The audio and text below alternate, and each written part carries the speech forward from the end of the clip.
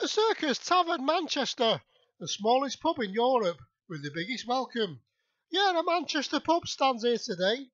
Built in 1790, it was a pub from 1840, surrounded by takeaways on Portland Street, a lively, bustling, hustling place near Chinatown and the Gay Village.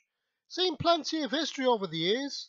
George Best used to drink here back in the day, and today a pandemic is on the scene the pub's closed, waiting for the day when lockdown's lifted, and we'll be gifted with the smallest pub in Manchester, serving beer, the amber nectar of the gods, serving a pint at a time. So it's about time to open the pubs again, so we can put the world to rights with no fights. Yeah, the Circus Tavern Manchester, the smallest pub in Europe, with the biggest welcome. So let's welcome the day when we can visit the pub and appreciate what we've been missing. Yeah, I've just been missing the Manchester pubs and clubs, so just open the pubs.